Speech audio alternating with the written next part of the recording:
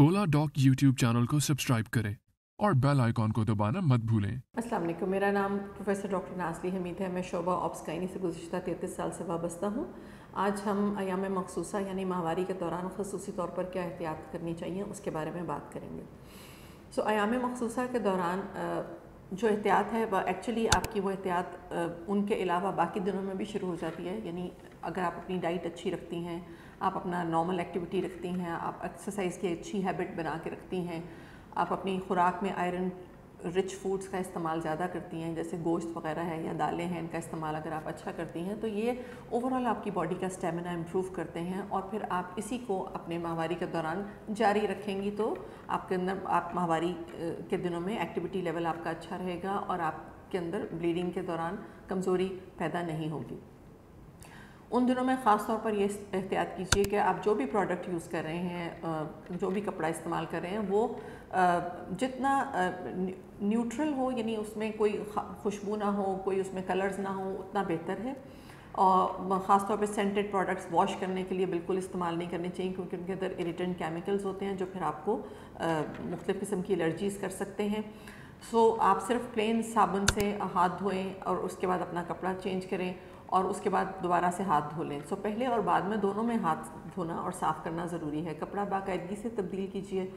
कम अज़ कम चार से आठ घंटे के बाद आपको कपड़ा लाजमी तब्दील कर लेना चाहिए। अगर इससे ज़्यादा देर आप कपड़ा रखती हैं तो उसमें जरासीम की अफसाइश होती है और फिर उससे मुख्तु किस्म के इन्फेक्शन सिर्फ़ निचले एरिया में भी और बाकी जिसम में भी फैल सकते हैं। पाकिस्तान के टॉप डॉक्टर्स के साथ अपॉइंटमेंट बुक करें। वो भी पेशेंट फीडबैक देखते हुए। लाखों लोगों की तरह पाकिस्तान के सबसे बड़े डॉक्टर नेटवर्क का फ़ायदा उठाएँ। और आज ही ओला डॉक ऐप डाउनलोड करें। ओला डॉक, डॉक्टर का अपॉइंटमेंट आसानी से। हेल्दी फ़ूड मैंने पहले ही आपसे कहा कि वो आप लेते रहें रेगुलरली। और इन दिनों में भी अपनी उस हेल्दी फ़ूड को जारी रखें। एक्स्ट्रा स्नैक्स वगैरह लेने की ज़रूरत नहीं, क्योंकि जितना आप फालतू नमक इस्तेमाल करते हैं चिप्स वगैरह और इन चीज़ों में, उतना आप जिसम में ज़्यादा पानी रिटेन करते हैं और उतनी फिर आपको जिसम में ये फीलिंग कि जिसम फूला हुआ है ब्लोटेड है, वो ज़्यादा बढ़ता है तो वो करने की ज़रूरत नहीं है।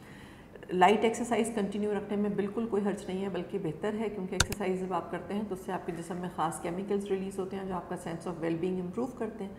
और जब आपका सेंस ऑफ़ वेलबींग इम्प्रूव होता है तो आपको पेन कम महसूस होती है। पेन की जब हम बात करेंगे तो पेन किलर्स लेने में कतन कोई हर्ज नहीं है। बहुत सारे पेशेंट्स हमारे पास आते हैं, जिनको ये प्रॉब्लम होता है कि जी पेन क्यों है? सो पेन एबनॉर्मल भी हो सकती है और नॉर्मल भी हो सकती है।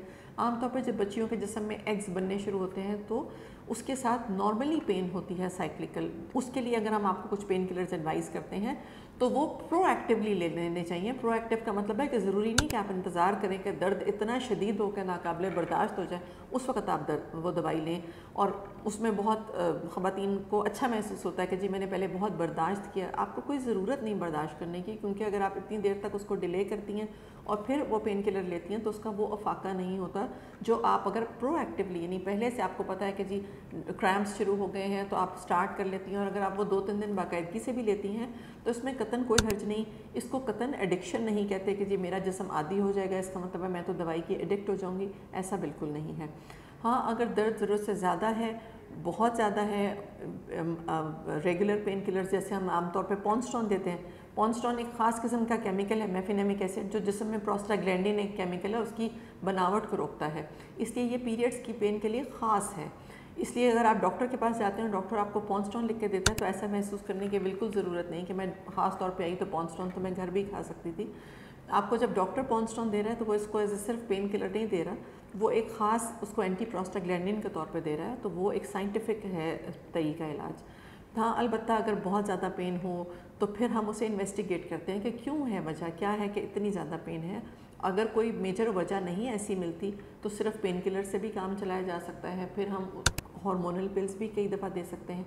लेकिन अगर कोई ख़ास वजह मिलती है खुदा ना खास्ता किसी को इन्फेक्शन है या खुदा ना खास्ता किसी को एंडोमेट्रियोसिस है इस तरह की कोई तकलीफ़ है तो फिर उस सूरत में उसके स्पेसिफ़िक इलाज हैं जो किए जाते हैं। सो so, ये आपके जनरली एक होलसम है कि आपने उन दिनों में अपनी केयर किस तरह से करनी है। टेम्पोन्स आमतौर पर हमारी ख़वान बहुत यूज़ नहीं करती पर अगर आप टेम्पोन्स यूज़ करती हैं तो फिर ख़ास तौर पर उनको रेगुलरली तब्दील करना और भी ज़्यादा इंपॉर्टेंट है क्योंकि उस सूरत में वो ब्लड सारा अंदर ही इकट्ठा होता रहता है। ब्लड के कलर से कई ख़वान आके बहुत परेशान होती हैं कि जी इस तरह से ब्लड था या उस तरह से ब्लड था, इस तरह का कलर था। तो आमतौर पर फ्रेश रेड ब्लीडिंग होती है, लेकिन क्योंकि आप रात में लेटे रहते हैं, वो ब्लड अंदर कलेक्ट होता है, फिर आप जब सुबह उठते हैं तो वो थोड़ा डार्किश ब्लड भी हो सकता है। और उसके अंदर थोड़े बहुत फ्लैशी पीसेस हो सकते हैं गोश्त नुमा टुकड़े, क्योंकि यूट्रस की लाइनिंग भी शेड होती है। लेकिन हाँ अगर बहुत बड़े बड़े क्लॉट्स आ रहे हैं या इस तरह कुछ है प्रॉब्लम या आपके कपड़े सोख होना शुरू हो गए तो ऑब्वियसली वो ज़्यादा ब्लीडिंग है, फिर आपको अपने डॉक्टर से रजू करना चाहिए। बहुत शुक्रिया।